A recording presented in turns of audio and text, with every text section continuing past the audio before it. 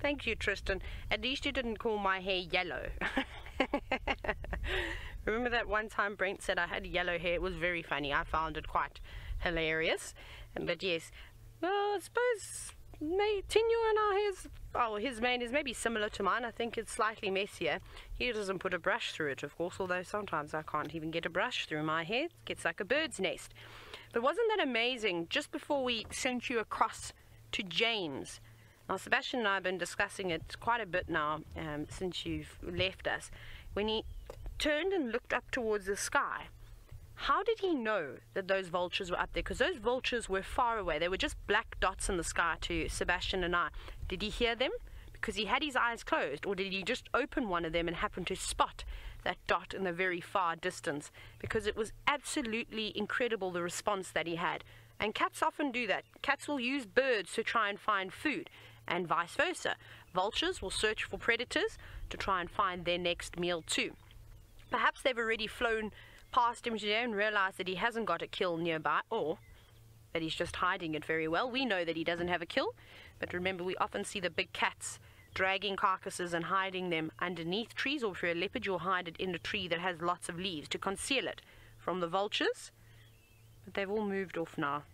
They've gone into a different area.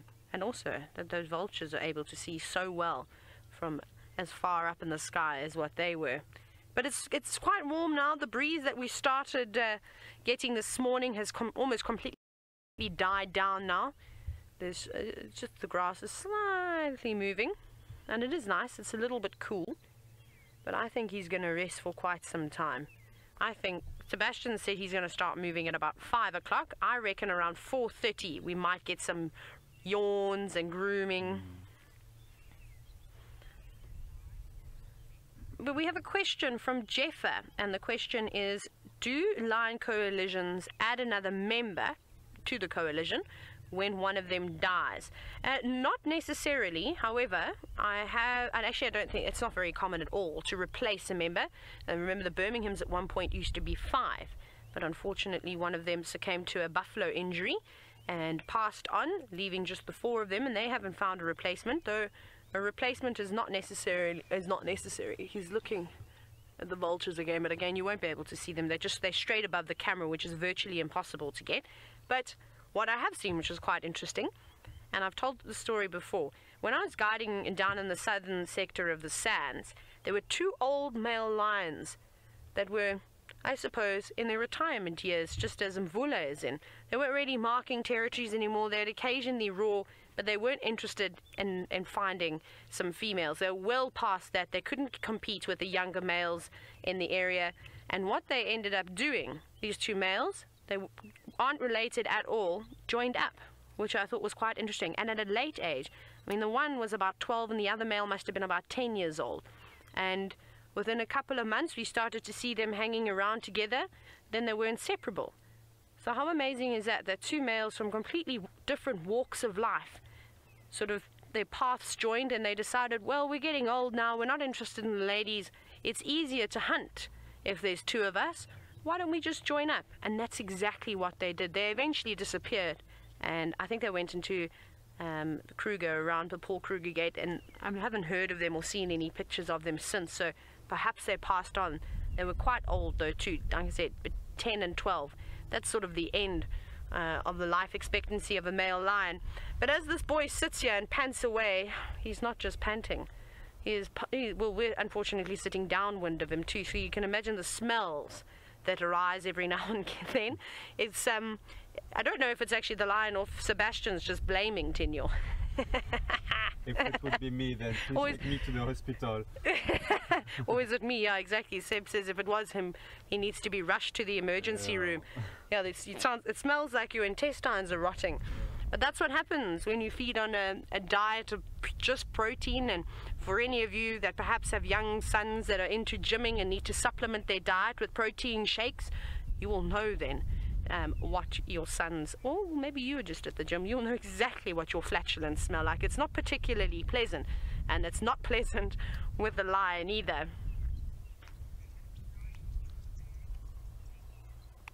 Now, an interesting question, and hopefully Tinyo will open his mouth for this one. It's from Martin, all the way in, in Texas. and it is Do lions get food stuck in their teeth? I'm sure. Oh my goodness, he stinks. that was a bad one, hey Seb? Yes. Sure. My goodness, I'm going to have to get a mask on or something, or at least uh, maybe hold a nice smelling flower to my nose while we sit here. Sorry, Martin. We will, um, we will of course not have to worry about that. Maybe we'll reposition at some point. And so, sorry, Martin. And so, I'm sure they do. They've obviously got teeth that specialize in cutting the flesh, and then they're sort of able to tear it and and swallow it. So I'm sure to an extent they get all types of things stuck in their teeth, but I don't think it bothers them as much as it bothers us as humans. I mean, that's the first, we always put toothpicks out of the table before you go to bed at night. You floss your teeth well. You should be flossing your teeth if there are any children watching. Must remember to floss your teeth, otherwise the tooth fairy or the tooth mouse won't come and visit you. And uh, just yes, digressed severely there. But um, yeah, so it's very it's important, very important for us, but for them, it's not necessarily the case at all. They're alright. Now he's staring at me every time I move. Maybe he's admiring my long ponytail. Mm-hmm. I don't have a door, so if I do shuffle, he can't see these movements. So it's not like I'm completely concealed. I'm not standing up and breaking the silhouette. But remember, the way that a lion's eyesight is designed is they pick up the slightest movement very easily. So even the way that I talk with my hands, I often have to watch myself when I'm in a cat sighting and put my hands under my arms or I have to sit on them Otherwise, they do start watching. I've had it before where I was talking and I was so excited, and my tracker said to me, Mafazi, he always used to call me Mafazi, which is, uh, it means woman, but when the Shangani men say it to you, it's like a term of endearment. They don't mean it in a disrespectful way at all. And he says, Mafazi, watch your hands. So I'm like, oh, what are you talking about? And this female lion from the Southern Pride was just going like this. She was sitting quite a distance away. She was just following me. She was just, oh, that's very interesting, whatever I'm doing with my hands. So it's always always important to make sure that you're not uh, that you are careful. But he doesn't seem to be bothered by us barring when he stares up at the the vultures that are flying ahead. He looks down at us. Oh, he looks across at us. But he's more worried about catching some Z's this afternoon, and and I'm sure he's hoping that that uncomfortable full feeling will disappear. I've always wondered, and this is obviously something that we can't tell, we can't ask a lion, we, we, we can't really communicate with them at all, but you know what happens when you overeat. Often it ends up in a stomach ache. And I wonder if they, at any point in their life, also get severe cramps from overindulging. What do you think, Seb? Or do you think that they're just so used to eating like that that that's their the way that it's nothing no more? You think they're used to it? Mm. Yeah. Just didn't always think about these things. Because obviously I try and think how I feel after a big meal, and I go, Phew I had a belly that size. That's like eating the entire turkey at Christmas yourself with all the sides, with the roast potatoes and the pumpkin and anything else that you like to have with it. He's had it all. He's had a five course meal for five people, uh, but he's eaten it just himself. That's what he looks like at the moment. There seems to be also a few more flies buzzing about today. He's twitching his ears, his tail is moving quite vigorously. He's not enjoying them.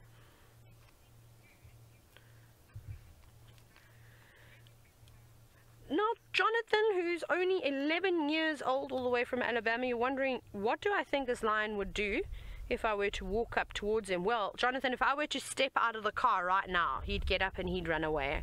I'm almost certain about that. Look, at he's going to do a big rollover now. And the reason for this is first I'm going to give him a fright. Oh, that smells so terrible. we need smell-o-vision. That needs to be created because then it'll be a more real life safari, don't you think? Imagine sitting at your computer getting these smells. It'd be wonderful. Um, so, so he would run away and if I maybe came from a distance, say I was doing a bushwalk with guests or I was out with, track, uh, with Herbie and we were tracking and we were walking about, it, he'd probably also get up and move slightly or he might start growling at us. He won't just attack you. He will tell you if he's unhappy with you, but if you're going to give a lion a fright, they're just like a normal house cat. They, they will jump up and, and rush away. So I'm not too worried about that. But you should never just walk up to a lion, especially a wild lion, any lion. It doesn't matter if it's tame, in inverted commas, because I don't think there's any such thing as a tame lion or a tame tiger or leopard. I think these animals you aren't able to domesticate. Isn't that beautiful? So rather don't walk up to an animal. That's why we've got the cars and they're habituated to the vehicles. So that means that they're used to us. They don't see us as food.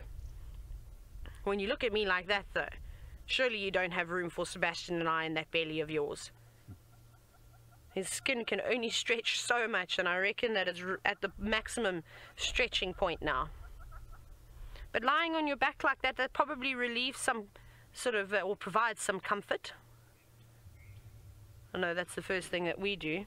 You undo the top button of your pants, loosen your belt, and you lay on your back on the couch, and then you fall asleep after a big meal. But he's not a small lion.